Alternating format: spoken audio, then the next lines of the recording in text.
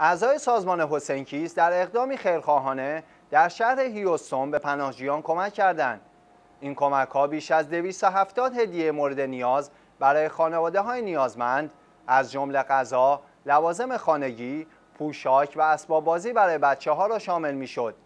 تمامی این کمک ها توسط اعضای سازمان مردم نهاد شیعی حسینکیز در اختیار مهاجران و پناهجویان شهر هیوستون در ایالت تگزاس آمریکا قرار گرفت.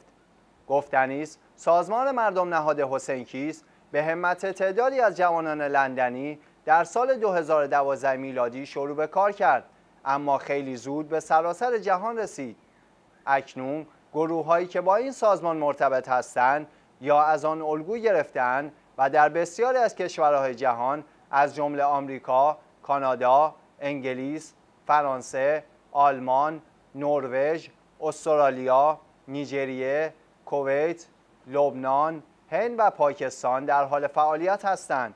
اعضای این سازمان سعی دارند تا با اجرای برنامه های متنوع مردمی مانند اطعام بی ها، رسیدگی به ایتام، امور خیریه، کمک به قربانیان حوادث طبیعی، تبلیغات خلاقانه و خدمات دیگر از این دست مردم جهان را با امام حسین علیه السلام و واقعه آشورا آشنا کنند.